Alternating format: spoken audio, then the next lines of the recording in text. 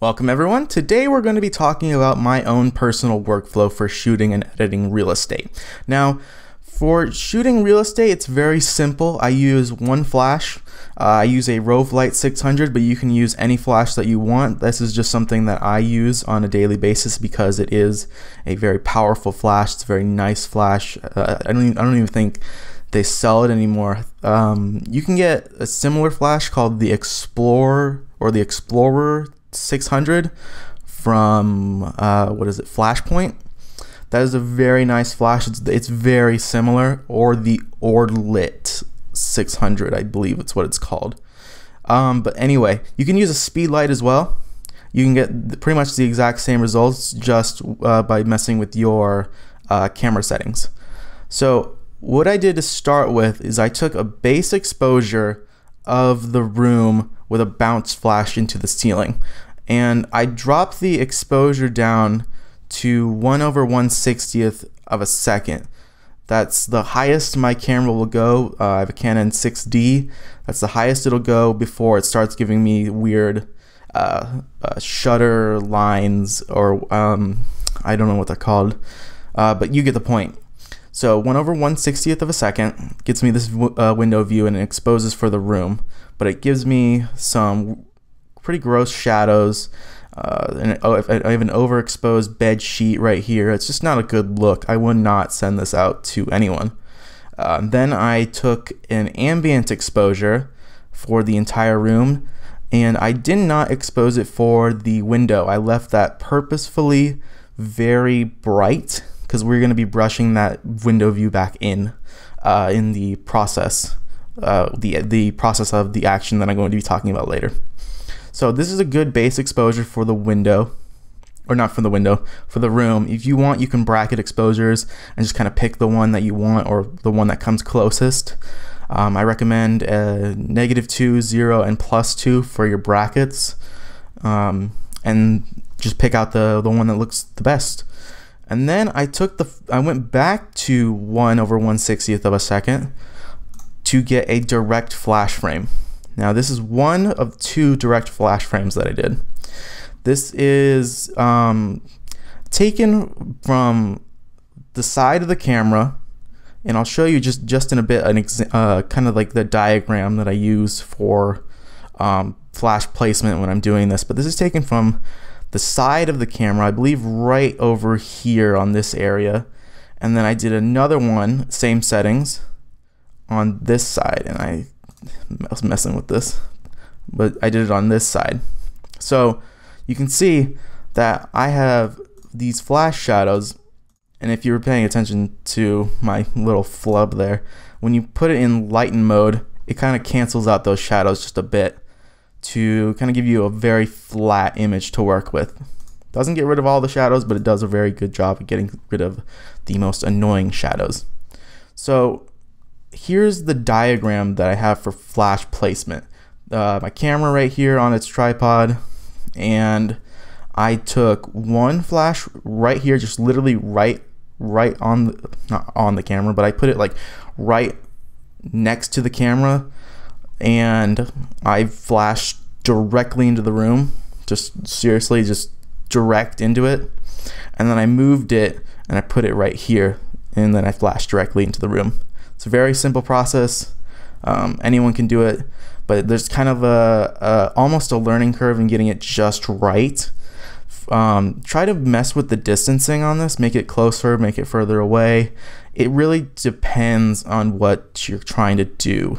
You can also do it from here and then go down to here. You just want to keep that diagonal placement going on.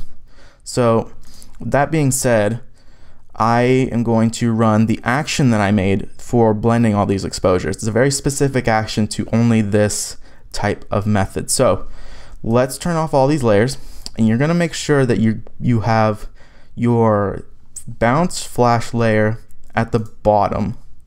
So it should be the first layer. Then on top of that is your ambient exposure. And then your last two, it doesn't matter which one it is, just as long as these direct flash layers are on top. They can be like this or just the way I had it before. It doesn't really matter since they're going into lighten blend mode. So let's go ahead and get started with the actual blending process. It's very, very simple.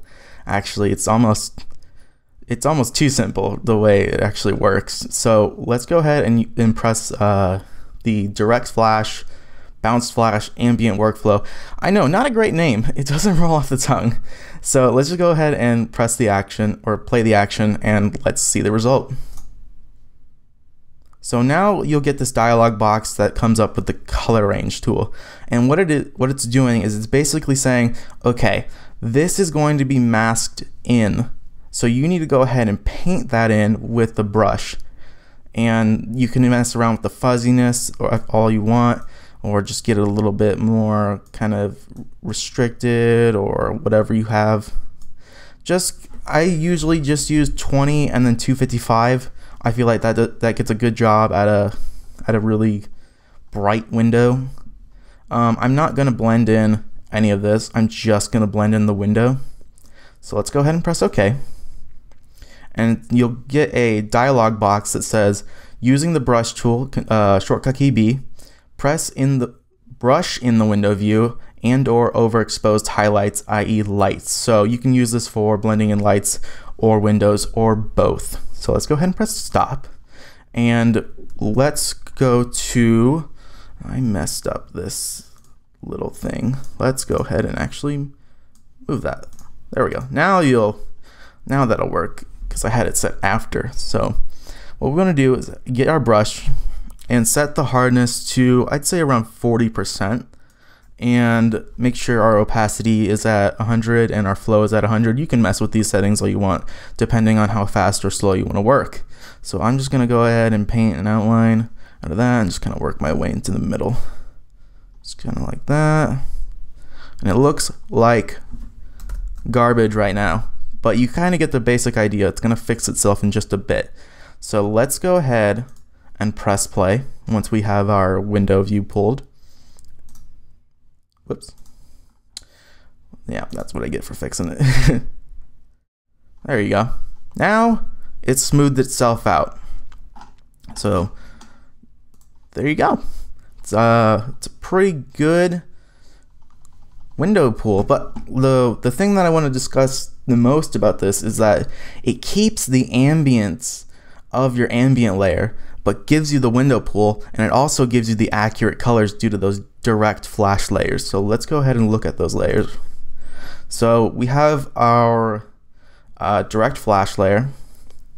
So let's turn these off. We have our ambient layer and let me turn this off as well so you get a better idea. So we have our ambient layer and once we turn on our direct flash layers, it brings in that color it, it's very subtle for this image, but you can tell right here where this was blue. It just neutralizes that color and gets it it just gets it right. And that's thanks to the color blend mode that is that it's set to. So that's pretty cool. And then if you have a image that has like let's say the direct flash layer caused some weird colored uh, discoloration like it usually does. Because you're direct flashing you're going to get some highlights on things. Um, this layer mask right here is going to take care of that mess. So you see right here it's very blue. This is really red. It's because of that direct flash layer. It's not blending in quite right. So I added that uh, that uh, layer mask just to kind of fix things up so that's pretty much it. And then your bounced flash layer is your window pull layer. If we turn that on and off, we can see that it's taking it, taking the bounced flash window pull and just applying it to that area. And it does so in a very, uh, God, I hate using this word, but seamless way for a good amount of shots. I, I love using this method. It's such a quick process. I get through homes just like if I can snap just like that. If I, there we go. If I can just snap, but I get through homes very quickly by doing this. It's very, very efficient. Um, just go ahead and check out the link down below in the description, and you'll get this actions uh, yeah, this action, play around with it. Um, I want to see what you guys come up with. If there's anything that I may need to change, um, I'll definitely be, uh, be um, adding to this for different methods. Like let's say you wanted to use just one flash and one ambient and just kind of skip that color layer altogether and just blend those. Well, I can make that. or you just want something that blends three bracketed exposures and it does it well and it does it really well, or you want to blend bracketed exposures and you get that color layer, I can do that. I can make these things. Like all you got to do is just ask me, and then I'll I'll make them. Like, give me some sample files, and I'll I'll get on it. So that's pretty much it. Um, happy blending, guys.